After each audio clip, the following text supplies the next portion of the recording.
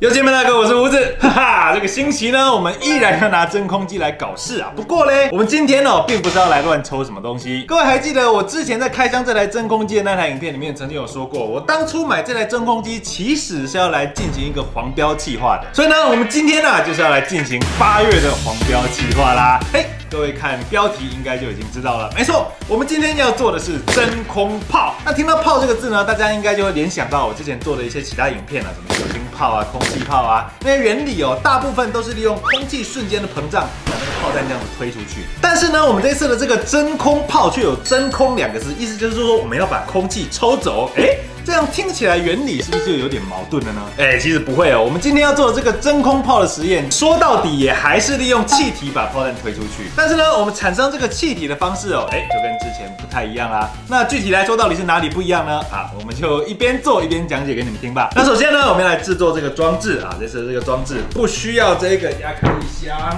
那顺道一提哦，就是有很多人在问我说这一组机器多少钱啊？我现在这边告诉你们，这一组呢，我在路片上面买哦，总共九千多，但是这台机器其实只要两千多，哈哈，没错，你们刚才看到我收下去那个亚克力箱，比这台机器还要贵了三倍，哈哈，就是那个我也不知道为什么那个亚克力这么贵，那小杰跟我说这很正常。那总之呢，我们这次的实验不需要刚刚那个箱子，然后这个盖子也不需要，我们把它拆掉。接下来呢，我们要拿这种纸屑袋哦，把这边稍微这样缠一下，因为我们在做这个实验的时候啊需要相当的气密啊，毕竟是要抽真空嘛。接着呢，找一个这种透明的 UPVC 三通管啊，上面这边呢给它用那种广口瓶啊，烧瓶的那种塞子啊，中间打一个洞，然后给它塞着，塞上去了之后呢，哎，这边。把它这样子转进去，转紧了之后呢，再拿一支这种 UPVC 管啊，直接把它从前面这边给它塞进去。好，那么接下来呢，我们就可以把这个作为弹药的乒乓球啊，从这边这样子放进去。然后呢，啊，关键来了，我们要拿这种宽的胶带啊，把这个管子的前面跟后面呢，都给它稍微密封一下。好，前后都封住了之后呢，下一个步骤啊，我们要确保整支水管呢是非常非常水平的啊，到时候这样子乒乓球在，它怎么在外面？乒乓球在里面这样子跑的时候，我们必须要确保它是完全畅通的，不然像现在你看这边这样子有一点点弧度，它这样冲到中间就会被卡住，所以呢，我们要确保这整支水管是完全直的。好，直。好，这么一来，发射的准备就设置完成了。那么接下来呢，我们就可以立刻来准备实验喽。OK，那我们立刻再来开始抽气吧。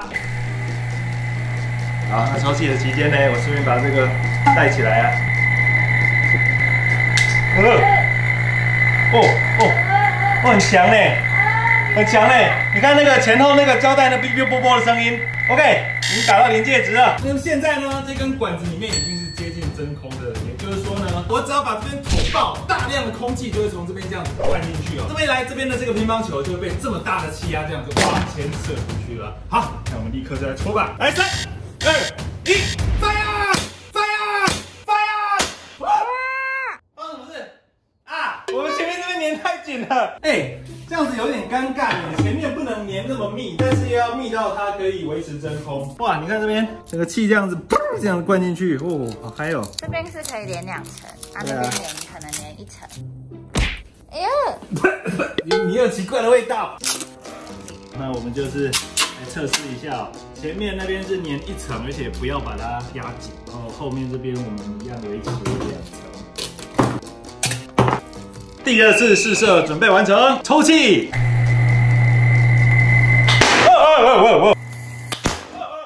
么东西冲出去了？不是没有东西冲出去了，前面那个爆了。啊？所以一层胶带不够厚，两层胶带要太厚。不然我试着看看，前面一样用两层，但是我们用短一点，不要让它在旁边这样子整个包住。我看网络上其他人做的，还有外国 YouTuber 跟节目做的那种真空炮，都很简单的样子啊，根本就没有那么多没干啊。所以哦，真的是。什么事情都要自己做了才知道。来啊，抽气。好，开始抽，抽抽抽，还是好，讲话。哎，nice，nice，nice，nice，nice。是啦 ok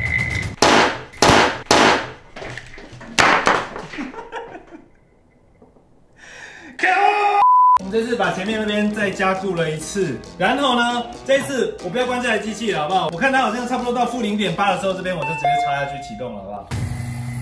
三二一。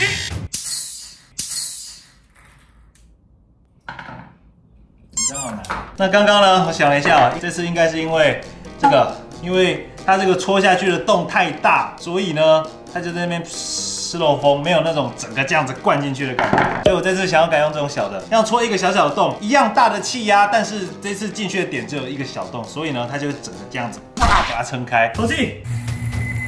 好，来，三、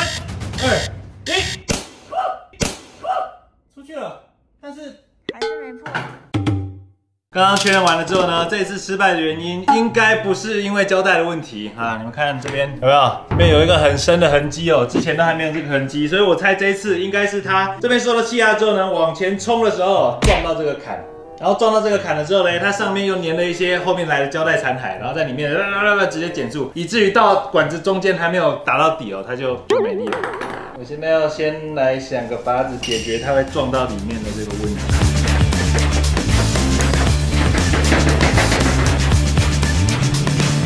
啊，就像这样子，在前面这边呢，点一些热熔胶哦，这样子，呃，我们的乒乓球从前面这样子装进来的时候，哎，应该就会在那边卡住，yes，这样子它就不会被吸到那个管子里面去，然后被那个胶带粘住，然后又卡到那个管子的边边啦。好，那我们就把它打起来，OK，有没有？它这边。卡住了，这样它等一下就不会撞到了。来，一样哦，抽到底的时候我直接把它戳爆哦。三、二、一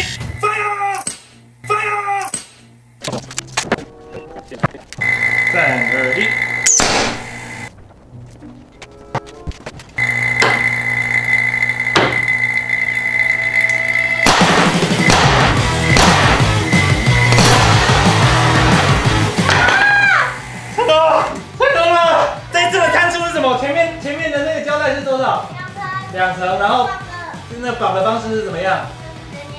捏紧两层，直接捏紧。然后我有用那个用美工刀在第一层这样轻轻的画一个。OK，让它更好冲破。好，然后我前面这边也是用两层啊，用就是比较细的这个，再用旁边把它加固，让它不会直接这样吸进去。另外，我们用来戳洞的是这个螺丝起子，接着是最后的最后，我们做一个最大的改变，这我们把这个水平整个重新再校正一次啊，我们中间不垫东西了，直接让这个管子躺在桌子上，它就一定平了。那出去了之后，这边我们本来一直都有用这个脚架把它撑高，但是我们射了好几十次，那个球就是冲到脚架前面。对，就刹车，所以我们首先把脚架拿掉，然后这次就成功了。好，那我为了保险起见，我们再测试一次。OK，来，这次绝对可以成功啦！刚刚用这个螺丝起子戳的难戳，我这次换用美工刀。来，准备，三二一，开抽！哇，这次气压打得超高哎！来，准备，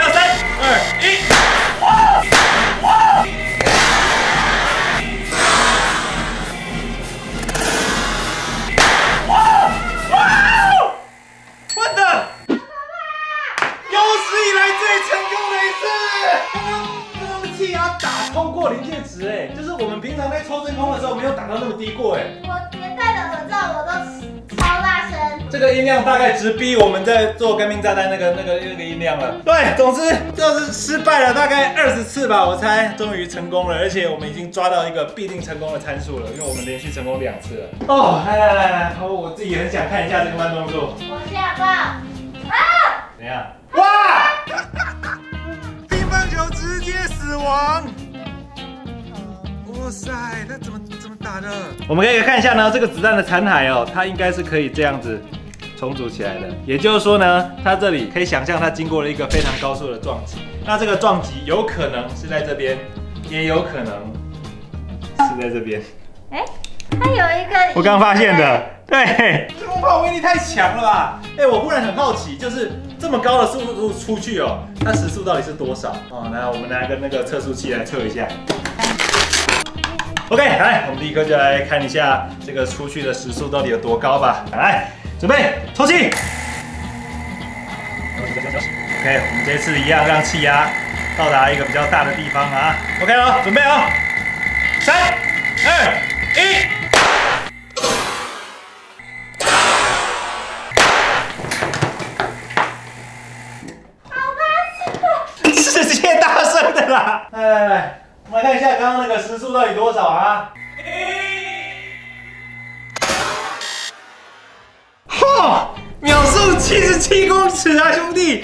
速七十七公尺是什么概念？来，我稍微换算一下。秒速七十七公尺，也就是时速两百七十七点二公里，这个速度大概什么概念呢？哎，我们台湾高铁的营运的最高时速是三百公里，这个乒乓球几乎就是要追上高铁的速度了。哎，世界第一的选手打乒乓球扣杀的那个速度是多少啊？我查一下。呃，我这边查到的乒乓球时速的世界纪录是一百一十六公里。